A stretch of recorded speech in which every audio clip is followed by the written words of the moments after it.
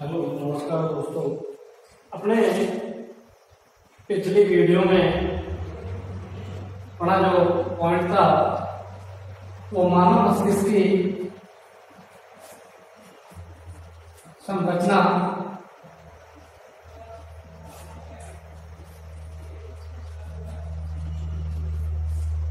मानव मस्तिष्क की संरचना का अध्ययन आपने किया था। तो मानव मस्तिष्क को मुख्य रूप से तीन भागों में बांटा। आग्र मस्तिष्क आग्र मस्तिष्क को प्रमस्तिष्क और प्रमस्तिष्क के दो भाग थे।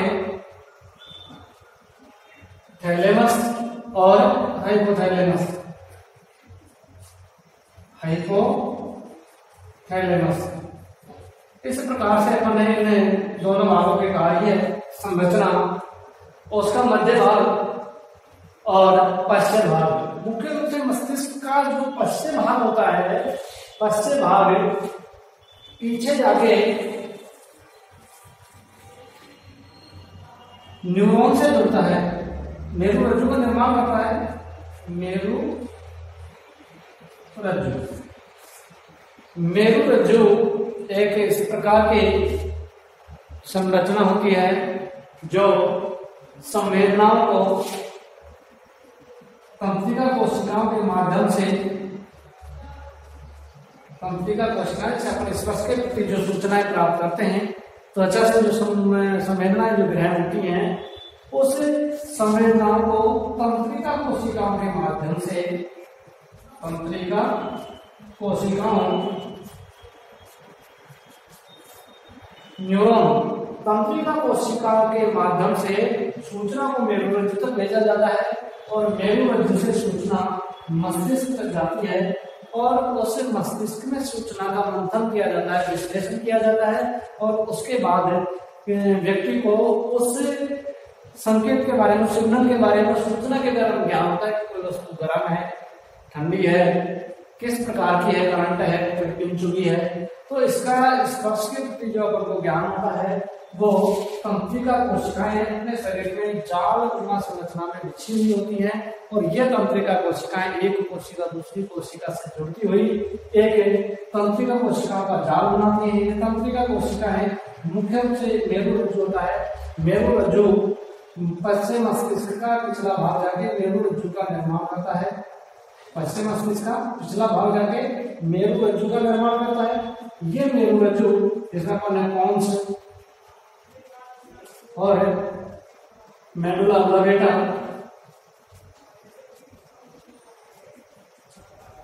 ये पश्चिम मस्तिष्क के बाद है। कौन ये मस्तिष्क के भागों को जोड़ने का कार्य करता है मेडुला ऑब्लांगेटा ये हृदय शरीर की जो अनैच्छिक क्रियाएँ होती हैं अनैच्छिक जो कार्य होते हैं, उनके ऊपर कंट्रोल करने का कार्य करता है, जैसे बीपी है, हृदय धड़कन है, पाचन है, आँखों की पुतलियों का झपकना है, इस तरह की कुछ अनिच्छिक क्रियाएँ होती हैं उन अनिच्छिक क्रियाओं पर कंट्रोल करने का कार्य है, ये मेडुला के द्वारा किया जाता है ये मेडुला ऑब्लांगेटा के पश्चिम भाग और आगे नीचे जाके तंतुआ संरचना का निर्माण करता है। ये कहलाती है मेरु रज्जु ये मेरु रज्जु एक बहुत ही कोमल धागे नुमा संरचना होती है, जो लंबी बेलनाकार संरचना होती है, और ये कोमल संरचना मेरुदंड में सुरक्षित होती है। इसमें मेरुदंड में। मेरुदंड रीढ़ की हड्डी ये मेरुदंड में सुरक्षित होता है और मेरुदंड से तंत्रिका कोशिकाएँ न्यूरॉन्स होते हैं, वो जुड़े हुए होते हैं। ये न्यूरॉन्स बाहरी उद्दीपन से सूचनाओं का ग्रहण करके और मेरुरज्जु तक पहुंचाते हैं। मेरुरज्जु उन सूचनाओं को मस्तिष्क तक पहुंचाता है। मस्तिष्क में सूचना का मंथन विश्लेषण किया जाता है, जिससे उनको सूचना का ज्ञान होता है। तो इस इस प्रकार यह अब एक तंत्रिका कोशिका का। अब तंत्रिका कोशिका तंत्रिका तंत्र है, उसको कई भागों में केंद्रीय तंत्रिका तंत्र, केंद्रीय तंत्रिका तंत्र में तो मैंने बताया था कि मस्तिष्क परिधीय तंत्रिका तंत्र और स्वातः तंत्रिका तंत्र। स्वातः तंत्रिका तंत्र को फिर दो भागों में बांटा है, परानुकंपी और अनुकंपी। परानुकंपी और अनुकंपी ऐच्छिक और अनैच्छिक क्रियाएँ होती हैं उनके ऊपर कंट्रोल करने का कार्य करते हैं। अब अपन पढ़ेंगे न्यूरॉन्स या तंत्रिका कोशिका की संरचना। देखो, तंत्रिका कोशिका अपने शरीर में स्पर्श के प्रति यह है कि उसको चाहे खड़ी संरचना में बनाता है, इस तरह से आगे। ये जाल नुमा संरचना होती है, जो अपने शरीर के प्रत्येक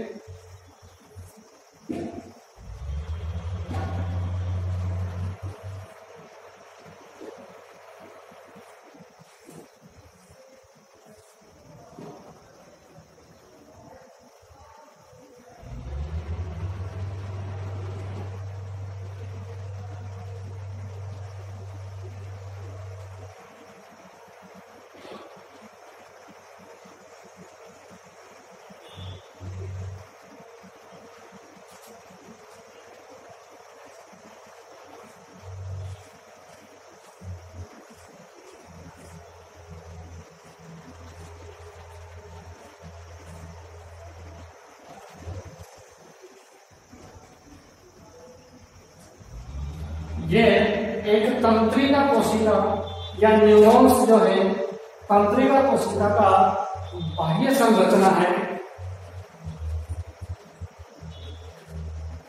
जिसमें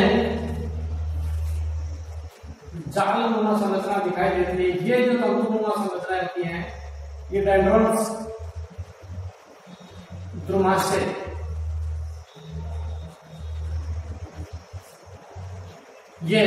ये भाग कहलाता है कोशिका का है।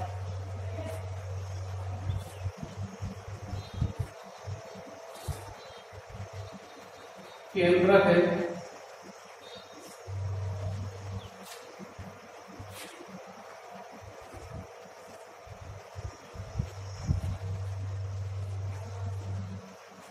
तंत्रिकाक्ष है।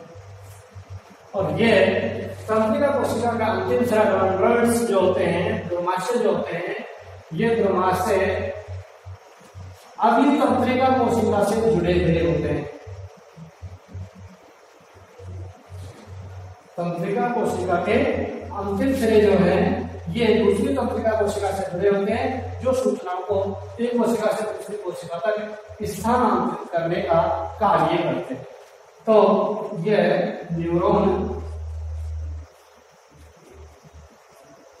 या तंत्रिका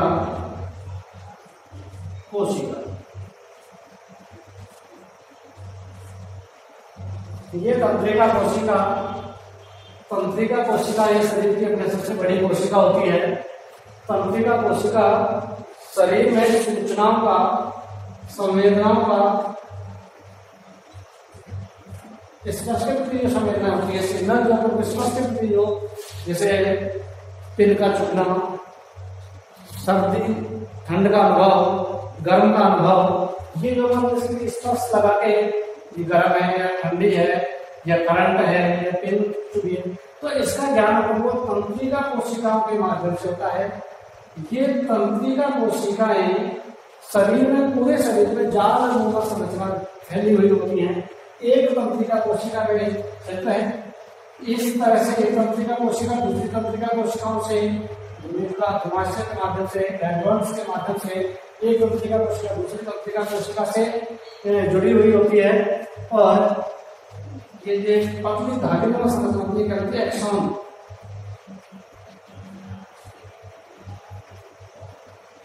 तो इस प्रकार से ये संवेदनाओं को शरीर में एक भाग से दूसरे भाग तक स्थानांतरित करके और कहाँ तक?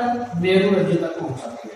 मेरु रज्जु तक। मेरु रज्जु एक मुख्य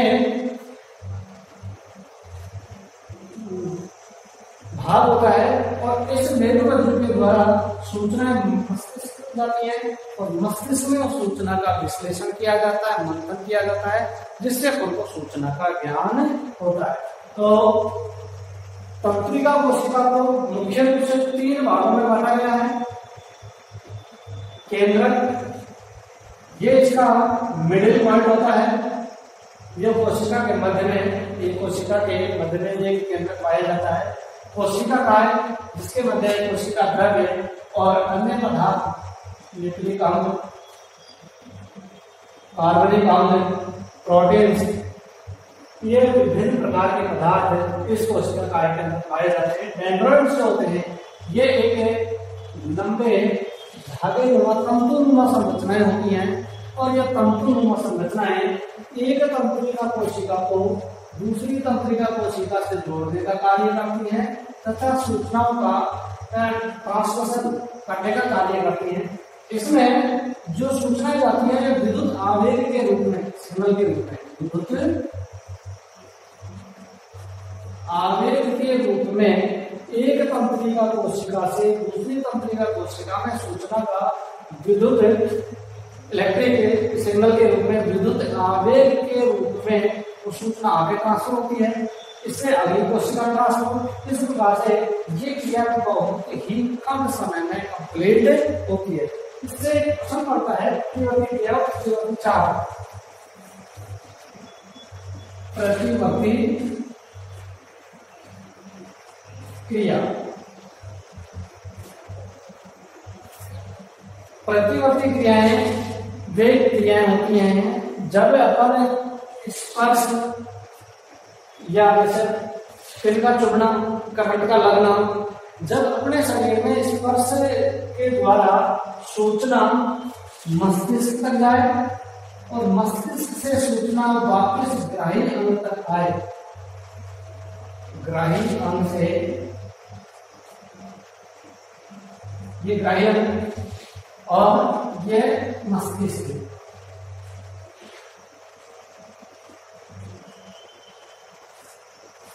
ग्राही अंग से सूचना, अगर जैसे हाथ के पिन का चुनना है करंट का लगना है ग्राही हुआ जिससे आपको सूचना ग्रहण होगी, जिससे सिग्नल आपको प्राप्त होगी। सूचना ग्रहण होगी ग्राही अंग इसी ग्राही अंग से सूचना प्राप्त हुई।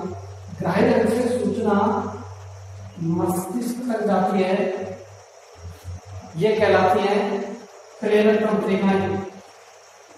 प्रेरक तंत्रिकाएँ।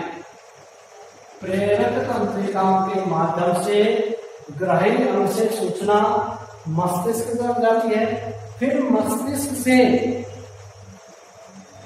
वापिस उस सूचना का विश्लेषण होगा। मतलब का करंट है। कोई पिंच भी है, कांटा चुरा है या कोई चीज़ गर्म है या ठंडी है तो उसका ज्ञान मस्तिष्क के द्वारा होता है और उस तंत्रिका के माध्यम से फिर वो सूचना ग्राही अंग तक जाती है और इस प्रकार का जो पता है। वह प्रतिवर्ती चाप कहलाता है। प्रतिवर्ती चाप। इस प्रकार से जो पथ होता है ग्राही अंग से सूचना मस्तिष्क पर जाना। और मस्तिष्क से सूचना का वापस करके आना। इस प्रकार से सूचना का आदान प्रदान होने के लिए रास्ता है, पथ कहलाता है प्रतिवर्ती चाप इस प्रतिवर्ती चाप में मुख्य कार्य इन तंत्रिका का न्यूरोन्स होता है, कि तंत्रिका अपने शरीर में में नीचे सभी भागों में फैली हुई होती है। जैसे अपना त्वचा स्पष्ट होता है तो इसका ज्ञान तंत्रिका कोशिका के माध्यम से सूचना एक कोशिका से दूसरी कोशिका, दूसरी से तीसरी तीसरी से चौथी तक से ये विद्युत आवेग के रूप में, विद्युत आवेग के रूप में सूचना आगे गति प्रदान करती जाती है और विद्युत आवेग पहुँच जाते हैं निर्मोजों में।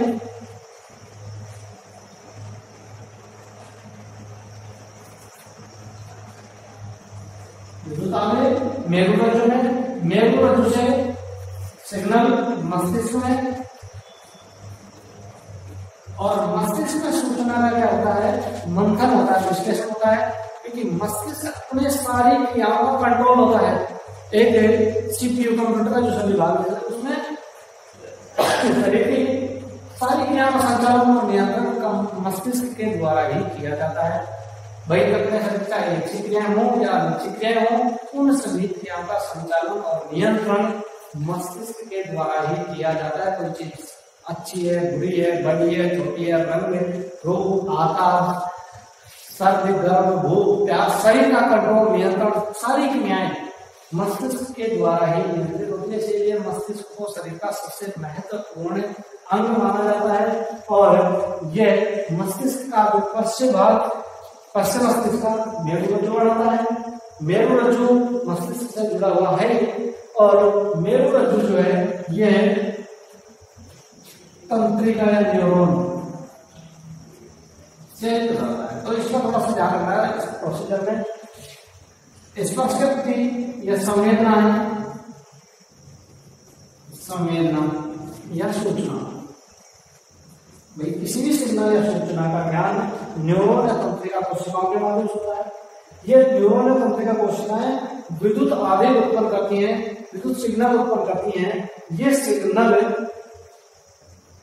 एक कोशिका से दूसरी कोशिका में ये मेरुरज्जु तक जाते हैं मेरुरज्जु सूचना को मस्तिष्क में पहुंचाता है मस्तिष्क में सूचना का विश्लेषण होता है और उस विश्लेषण के बाद में हमको उस वस्तु के आकार प्रकार बड़े छोटे करंट गर्म ठंडी उसका ज्ञान हमको मस्तिष्क के द्वारा होता है, मस्तिष्क से वो सूचना फिर उन्हें कहा पे न्यूरोन तक जाती है। वही रास्ते से इस प्रकार से पूरा एक बनता है, ये कहलाता है प्रतिवर्ती क्रिया। प्रतिवर्ती क्रिया, सब अच्छा है पोस्टर बोर्ड में कई बार क्वेश्चन आया हुआ है कि प्रतिवर्ती क्रिया को नामांकित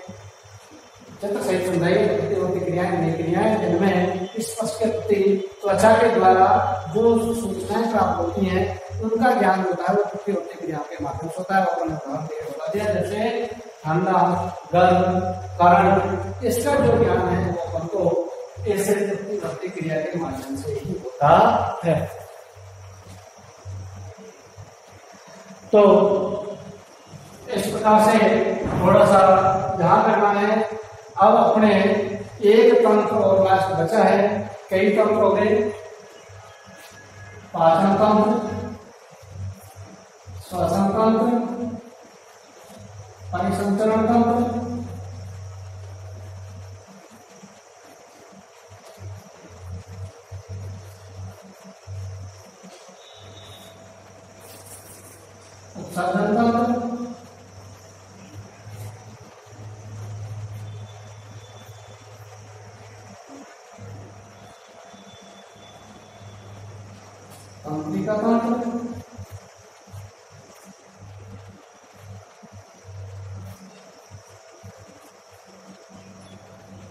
और एक तंत्र है अंतर श्रावी तंत्र अंतर श्रावी तंत्र तो इस अंतर श्रावी तंत्र में अपने शरीर की अंतर श्रावी सारी ग्रंथियाँ आएँगी। इनमें एक, दो,